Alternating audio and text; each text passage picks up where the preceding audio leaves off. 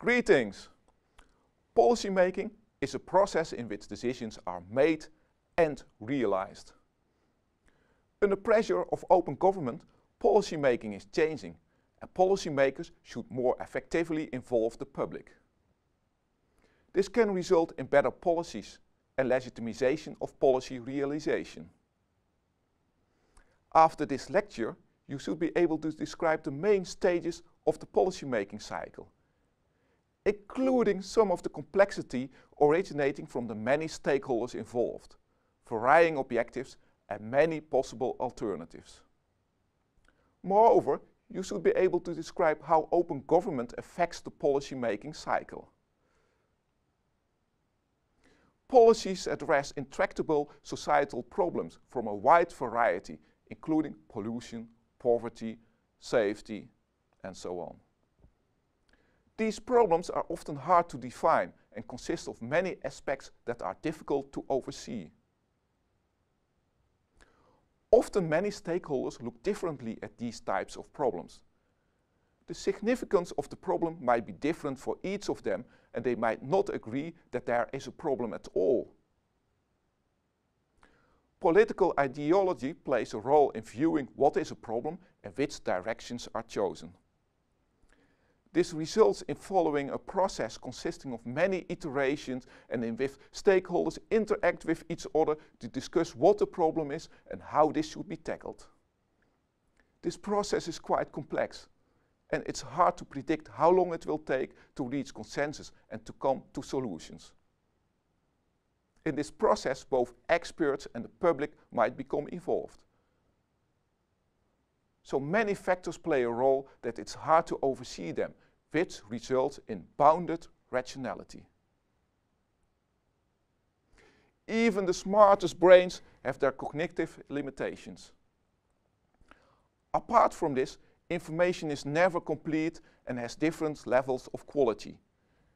Information might prove not to be correct or might give an impression and only afterwards it can be found that the used information was wrong. Often there's no best solution for solving the societal problem and many directions are possible. People might want to stick to directions that have proven in the past but this is not a warranty that they will work in the future. For evaluating the alternatives, there are no clear evaluation criteria. For example, setting norms for the level of pollution is often based on what the policymakers, who are influenced by the industry lobby and other stakeholders, think of what is feasible and challenging. Often there is a need for making trade-offs not everything can be done at the same time.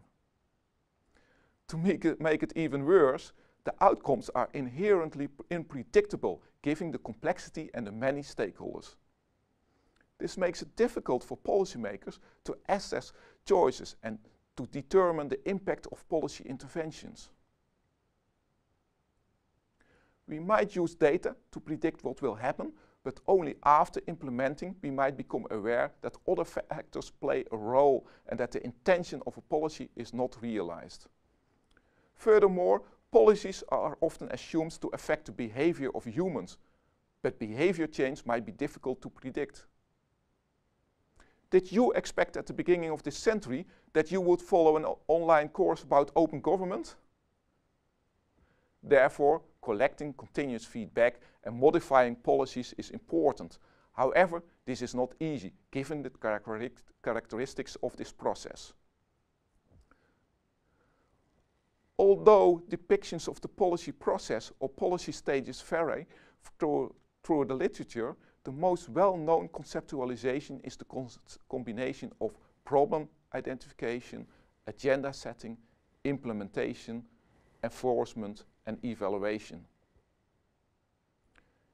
In this policy definition, the problem is identified and analyzed, with results in the need for developing one or more policies.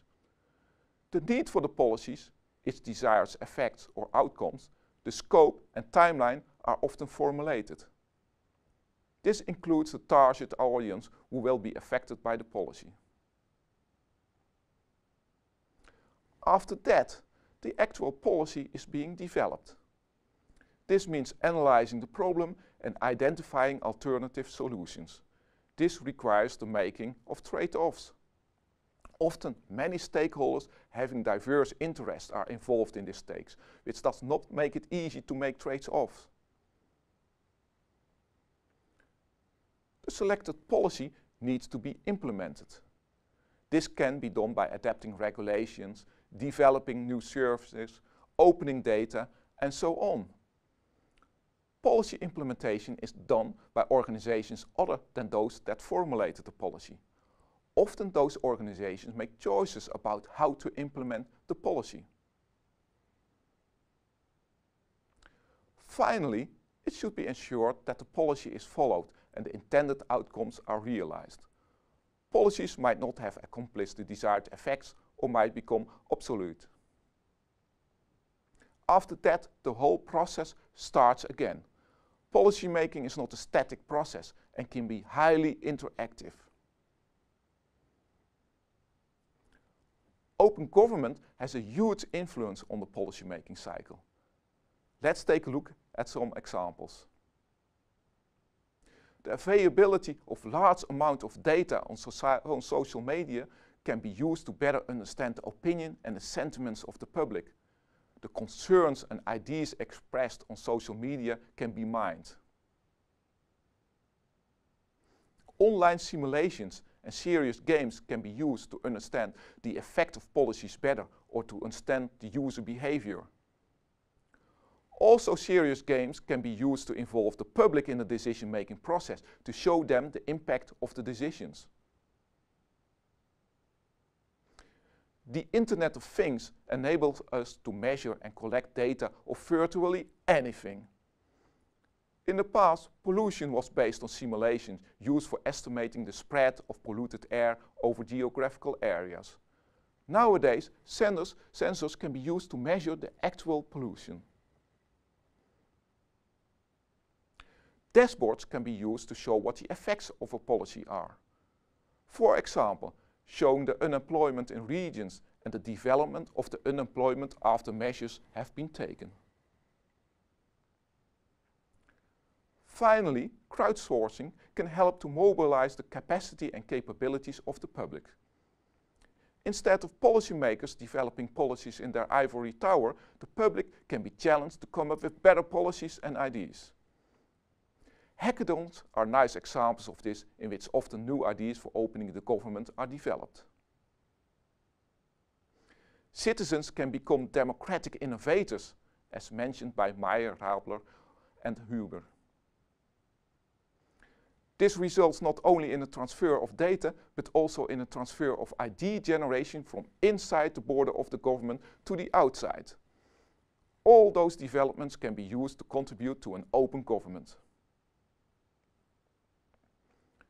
Simulations, visualizations and gaming are traditionally used for city planning, but can be used to bridge the gap between the government and the public.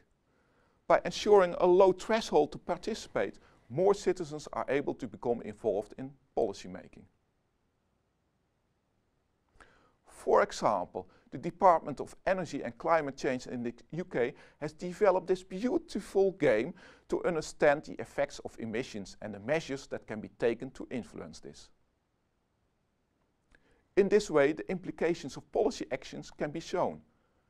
Another advantage is that the user behavior can be nudged towards a direction. You can imagine that users become more aware of the energy consumptions and take measures to reduce this. Take a look at it yourself. Such applications enable a shift from sending information to playing with it. Simulation can level the knowledge inside and outside the border of the government. In this way, citizens might become co-producers, becoming partners that effectively expand their role from passive to active problem solvers.